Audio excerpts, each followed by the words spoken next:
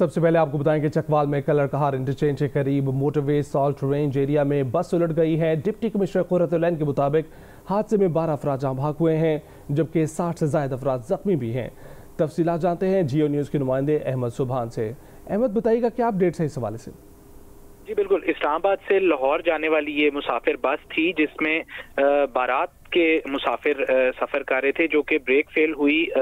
Colour Kahar के area में salt range है, जहाँ पर काफ़ी तवील एरिया है, जो कि स्टीप स्लोप्स हैं।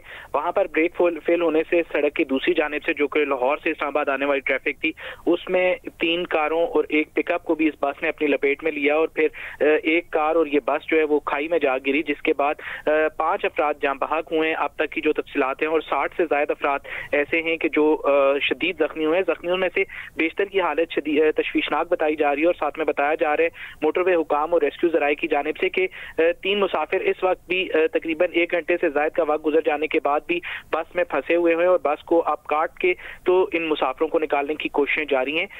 मोटरवे पुलिस और ज़िले इंतजामिया और पुलिस के सीनियर ऑफिसर्स अभी मुकाम जो स्पॉट है, इस पे पहुँच चुके हैं, जिसमें चकवाल से भी फोर्स को बुलाया गया और इसी तरह जो करीब के तीन अज्जा हैं, जिसमें चकवाल है सरगोदा और भेरा है इन तीनों एरियाज़ में ही तमाम तर जो हॉस्पिटल्स के हैं, वहाँ पर इमरजेंसी अलर्ट कर दिया गया है, जिसके बाद अब तमाम तर जो रेस्क्यू ऑपरेशन है, वो अभी इस टाइम जारी है।